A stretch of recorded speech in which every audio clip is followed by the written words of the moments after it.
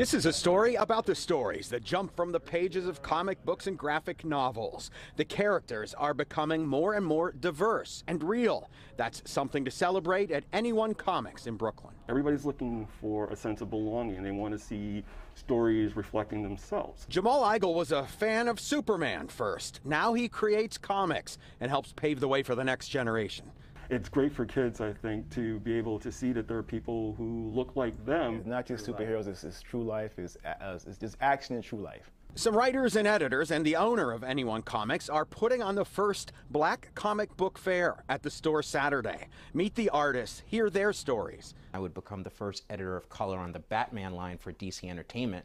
So that's really where my career launched, and it was very important for me to open doors for talented creators of color. Joseph Illidge has been in the business 30 years. They've also created and published the first access guide to the black comic book community.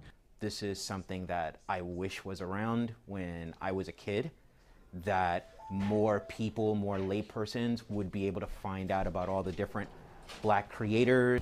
Anyone Comics has been in this Crown Heights neighborhood on Union at Nostrand for going on five years. Last year with the pandemic was rough, but they made it through. There are a lot of good stories inside.